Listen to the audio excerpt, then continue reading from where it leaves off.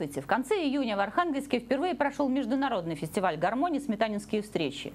Фестиваль посвящен памяти яркого музыканта, гармониста, композитора, заслуженного артиста России, уроженца Красноборска Сергея Сметанина. Именно гармонь называют душой России, русской нации. Гармонист – первый парень на деревне, уважаем и желанен во всех компаниях. Так было. А насколько востребован этот инструмент сегодня, поговорим со знатоком русской гармошки, заслуженным артистом Российской Федерации, музыкантом, гармонистом из Орловской губернии Геннадием Калмыковым.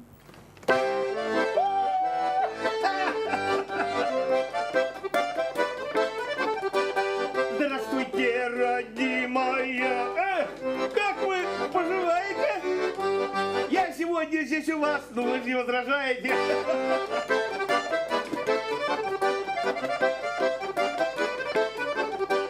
Я играю на гармошке, по-другому здесь нельзя. Гармонисты всей России вам приехали, друзья, на фестиваль!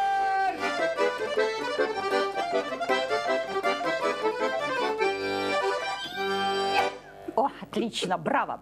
Ну что, здравствуйте, Геннадий Викторович. Здравствуйте, здравствуйте, Тамарочка. Вновь фестиваль привел вас в наши края. Конечно, вы здесь общаетесь с единомышленниками, с коллегами. Но вот все же поговорить хотелось бы о каких-то глобальных вопросах. Насколько востребована гармошка сегодня? Ведь можете оценить? Ну, конечно же, есть э, возможность, потому что приходится очень часто ездить по России, в зарубежных странах. Ну, наверное, зарубежные страны брать не будем, потому что там, в отличие от России, гармонь постоянно везде звучит, потому что это пласт их национальной культуры, и в отличие от нашей страны, э, там ничего не делают для того, чтобы скрывать это. У нас в России, к сожалению, немножко все хуже. А, Вот, э, потому что мы по телевизору мы ряд, вряд ли увидим гармонь, э, потому что там мы видим низкопробная попса, фонограмма и все остальное. Но тем не менее, вот э, в широкой публике, скажем так, э, у простого народа, народ, гармонь пользуется до сих пор очень большой популярностью. Ну, конечно же, большую здесь, скажем так, популяризацию этого данного вида направления сыграл и Геннадий Дмитриевич Заволокин со своей передачей «Играй гармонь», и Российский центр гармонии. Она, кстати, Да. существует?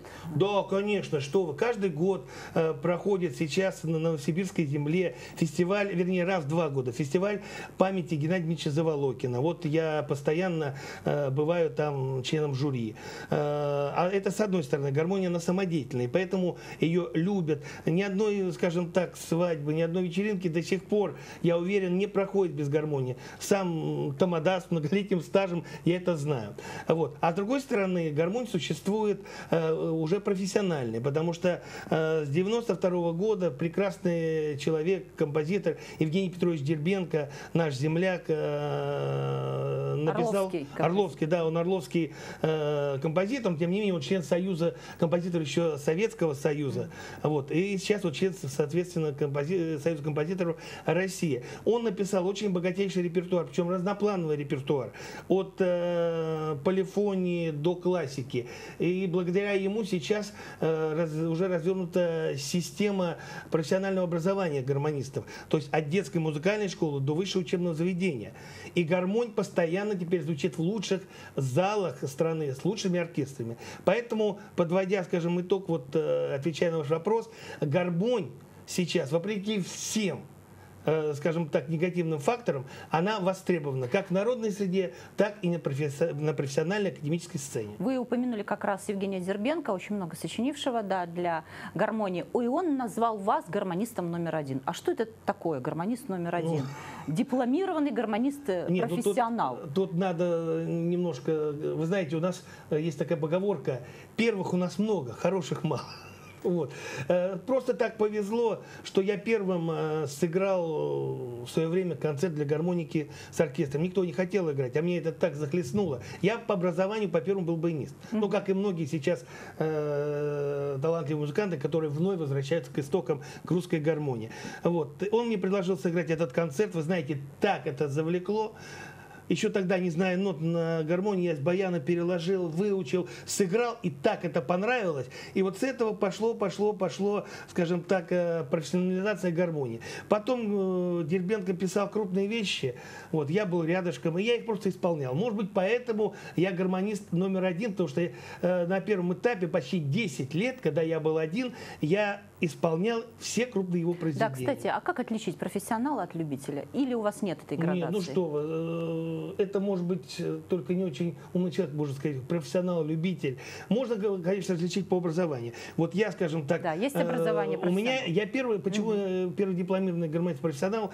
Потому что э, просто я был первый, кто закончил высшее учебное заведение, э, Московский государственный университет культуры, и мне выдали именно этот диплом. А вот все остальное, вы знаете, не бывает профессионалов, любителей, бывает просто хорошие исполнители и плохие. Да. Вот, кстати, вот это очень, очень а существует важно. термин «золотая десятка гармонистов». Это что? И кто, а, кто это выдумал и каковы критерии? Ну, вы знаете, э, золотая десятка гармонистов – это прекрасное понятие. Вот. Сейчас их уже золотых гармонистов России уже, наверное, около 150. Вот. Но, вы знаете, в каждой золотой десятке есть свой золотой гармонист, платиновый, как хотите. Mm-hmm. Недавно mm-hmm. мы начинали работать с золотой десяткой из золотых. Опять же, говори, разговор идет не об этом. Правильно, это политика, политика была Геннадия Дмитриевича Заволокина, который э, вот таким образом привлекал к развитию э, русской гармонии, э, скажем так, самодеятельных исполнителей и профессионалов. Он их объединял. Они шли дальше на места, они поднимали русскую гармонь, и понятие «золотая десятка», она очень много сделала на региональных уровнях. Понимаете? Одно дело приходит, извините, Ваня Иванов, а другое дело приходит Ваня ну, Иванов, статуса, общем, участник да? золотой десятки гармонистов mm-hmm. России. Вот вы знаете, надо провести фестиваль, и ко мне приедут золотые гармонисты. Ну, это такой хороший пиарский ход. Это хороший, да, ну пиар, вы знаете, честно говоря, я не люблю такие хорошем смысле. Слова. Продвижение. Да, это хороший, хороший, ну пусть рекламный ход, mm-hmm. это хороший, скажем, задел на будущее.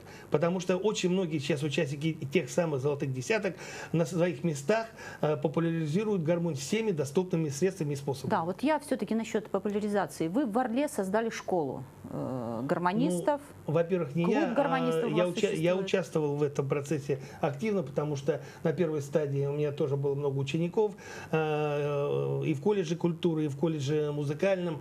Вот. Э, затем ученики продолжают э, обучение в Орловском институте культуры и искусств. И в Москве, и в Санкт-Петербурге, и в Волгограде открыты классы. Вот.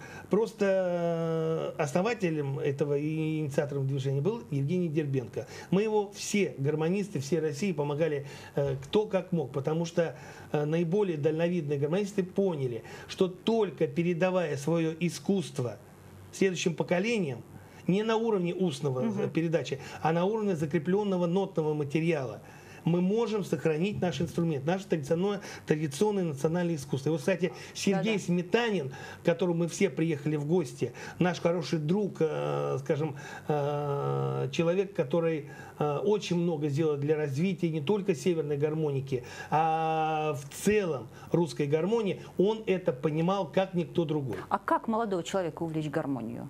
А очень просто. Столько соблазнов. А очень просто, понимаете? Просто-напросто нужно ему сыграть и все. Вот, э, Что-то отзовется, откликнется в душе. Конечно. Если а откликнется, значит Вы его, знаете, да? мы сейчас ехали в поезде, ехал маленький-маленький парень.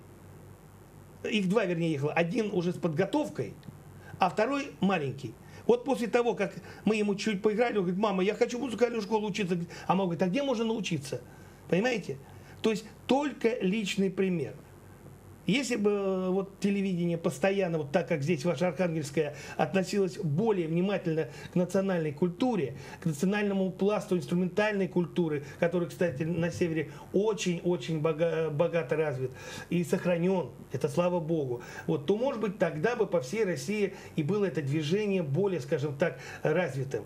Но сейчас все-таки там, где удается, э, во многих регионах, все-таки ребята могут прийти, могут научиться. Вы, на э, всех играть, на всех разновидностях, причем абсолютно разную музыку. Вы уже упомянули, что за границей гармонь как-то больше развита, чем у нас, игра на гармонии. Ну, вы знаете, э, а как они русскую гармошку понимают, да? Во-первых, они очень приветствуют ее, очень любят, потому что они ценят то, что мы им несем. А мы им несем русскую культуру, русскую традиционную культуру. Мы им несем разновидности русских гармоник. От э, гармошки хромки до вот прекрасных гармоник черепашек, понимаете? Черепашки это маленькие. потому Черепашки, что, да, вот самые вот эти. Потому что вот когда один раз берешь, вот смотрите так, на них играешь, то впечатление, что вот, смотрите,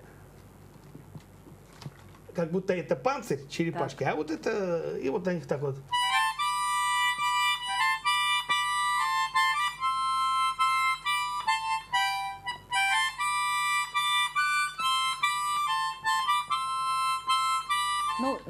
Тогда уже А продемонстрируем я и делаю эту, каждую. ну ладно. Ну, это самая большая из этих Они так высоко звучат. черепашек. Ну, они же маленькие, поэтому воздуха мало. Ну, допустим, вот это очень хорошая гармошечка. Вот, кстати, все они реставрированы московским мастером Бойко. И самое главное, на мой взгляд, лучшим мастером э, по изготовлению гармоний и баянов Александр Андреевич Сизов, народный мастер России. Это тот человек, который делал э, гармоники ансамблю России под руководством Зыкиной, э, прекрасному баянисту, лучшему э, эстрадному баянисту в России э, Виктору Федоровичу Гридину. Это легенда нашей, собственно говоря, нашей культуры, нашего искусства. Ну, вот такая гармошечка. Вот маленькая, так можно. Смотри. Борька!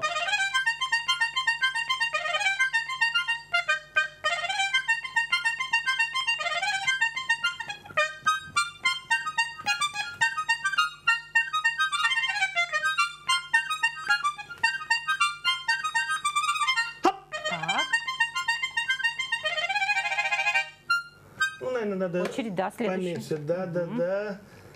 Итак, гармошечка вот такая. А давайте сделаем эксперимент. Я играю, вы аплодируете. Комаринского ручками, ну и... оп. Правильно? О. Попадаю? Почти. Живое исполнение. Формат живого звука. Это хорошо. И давайте, кто быстрее? Еще быстрее. Тамара, давайте только дяди. У вас есть ритм. Это радует. Ой, слава богу. Ну и вот, допустим, э, ну такая, вот эти, маленькая гармошечка. А у, у нее, кстати, очень большой диапазон. Смотрите. То есть целая октава. Вот поэтому Это вы здесь в Архангельске стоит, говорит, хорошая погода, видите? А я Геннадий Калмыков, из Орла я родом. Отличное сопровождение. Это вы все возите э, на каждый свой концерт, да? Ну, в принципе, да. Или я вожу- еще есть? Нет, я вожу много гармоник. Просто на этот фестиваль знаю, что приедет очень много талантливых гармонистов совершенно разных направлений, самодеятельных и профессионалов, и играющих на хромках, на ливенках, играющих на э, роялках, на тальянках, на саратовках. Брать еще какие-то гармонии смысла было Так. просто не было. А у вас орловская гармонь. Чем она отличается? Но это не орловская гармонь, это так называемая гармонь хромка. Это есть такой... Традиционная, такая классическая гармонь. Ну да, да, да, да, да. Правда, у меня она не совсем классическая, она по собственному заказу, который сделал, э, по собственной конструкции, которую сделал мастер Сизов. Вот она, если вот, вот от- если так просто, просто от сих до сих, как говорят гармонисты, она такая же, как и все. А если вот дальше, то на ней можно играть любую музыку. То есть она хроматическая в двух тон- э, двух октавах, то есть 36 клавиш, а обычный 25. Вот поэтому э, мы сейчас, гармонисты-профессионалы, э, скажем так, эм, играем абсолютно разную музыку. Э, От, я говорю, ну вот, допустим, полифония, к примеру, самая распространенная, если просто сыграть, показать. Потому что я здесь достаточно часто бываю на, этой, фе- на вашей прекрасной северной земле. И вот недавно в Котласе концерт был, буквально год назад. До этого Коряжма, в Архангельске, в Кирке был, был концерт. Вот, э, мы играем и э, без Давайте- сопровождения, давайте и с что-нибудь из сопровождением. классики, а? Ну Можете вот, допустим, вот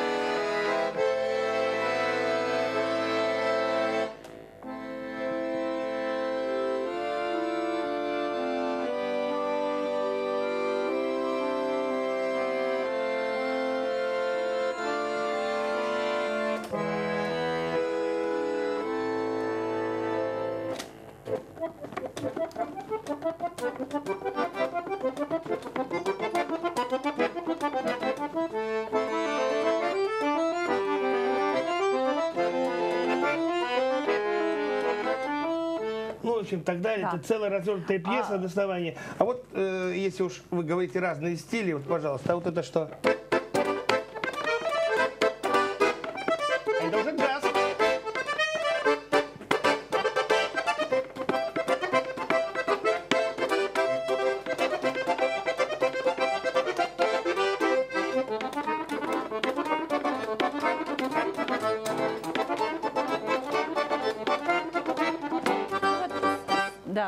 Чем профессионал от любителя отличается. Да? Ну, дело в том, что звучит все абсолютно. всё, да. Вот буквально еще три секунды, потому что, может быть, кто-то будет смотреть из молодежи, скажет, ну что это отстоит, какой же, а вот. Это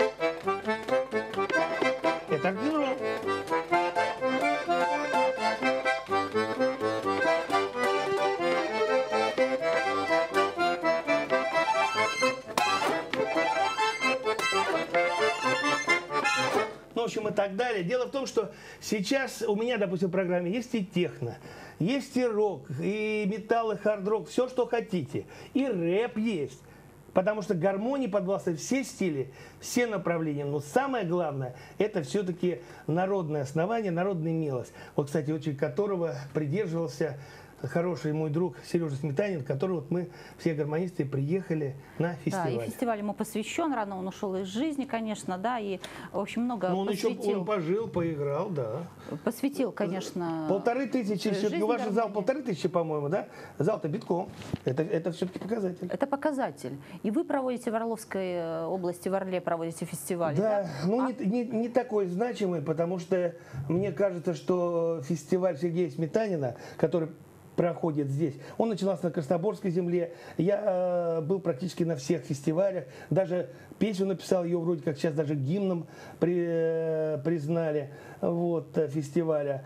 Э, он не такой значимый мой Орловский, как этот. Потому что этот фестиваль, наверное, уже по уровню исполнительства, по уровню участвующих гармонистов, выходит в один из трех лучших. Это э, фестиваль Заволокина Геннадия Дмитриевича в Новосибирске, вот где я постоянно член жю- жюри. Это, конечно же, Московский фестиваль гармоника душа России. Вот. Ну и вот Да, молодой, но уже очень талантливый и многогранный фестиваль в Архангельске. Сметанинские встречи. А скажите, как все-таки сделать так, чтобы у фестиваля был постоянный зритель? Ну вот первый раз пришли, э, насладились, и все-таки чтобы этот жанр прижился. Вы знаете, э, мы рады любому зрителю, и постоянному, и вновь пришедшему, потому что это в любом случае льет воду на нашу мельницу, потому что э, они пришли сегодня, они дальше пойдут.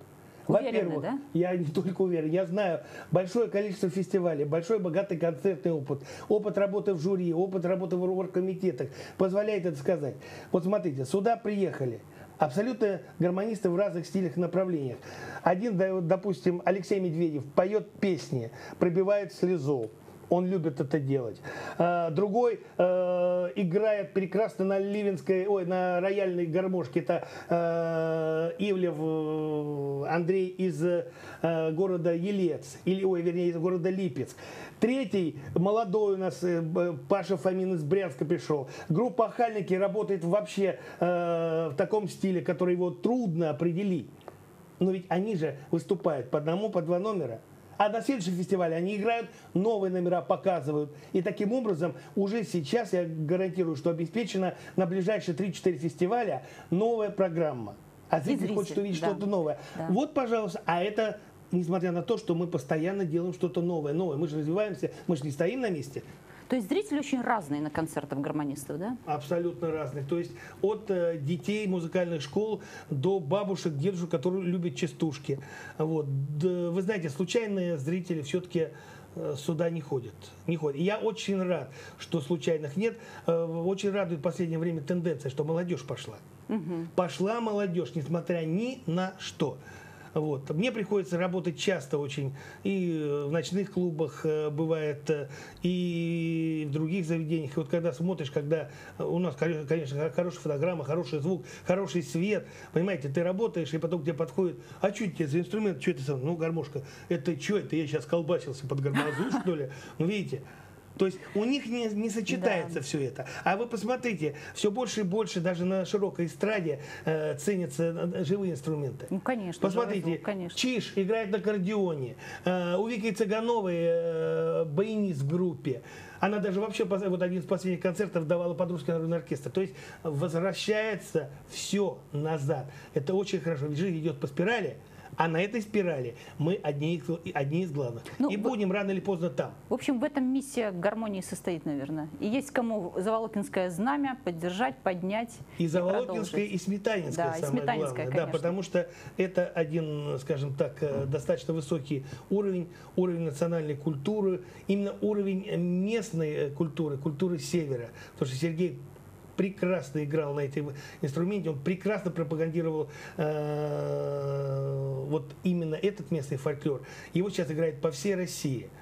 И это показатель его заслуги. Вот поэтому мы сегодня здесь, вот, и мы думаем, что гармонь жила, будет жить всегда.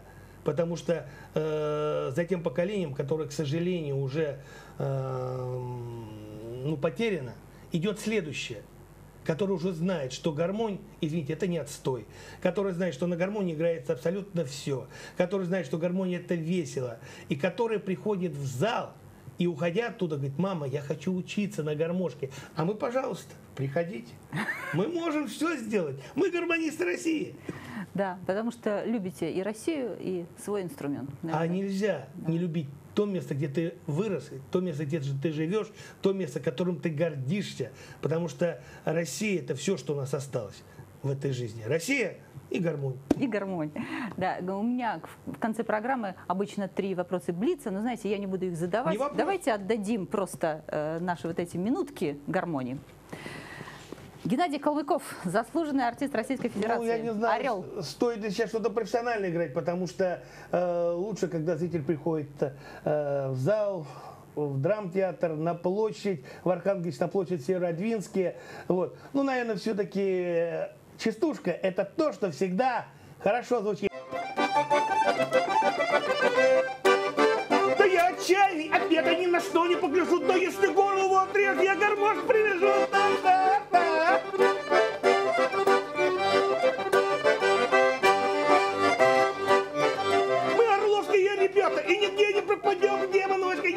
Все равно домой придем.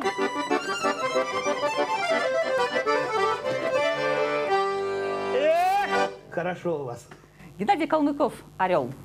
На сайте официального сообщества «Русская гармонь» есть такие слова «Армия без души, без духа – мертвая организация, не способная не только к ведению войны, но и к самосохранению. Но и армия, поющая и играющая чужие песни, тоже обречена на поражение». Вот такие дела. До встречи.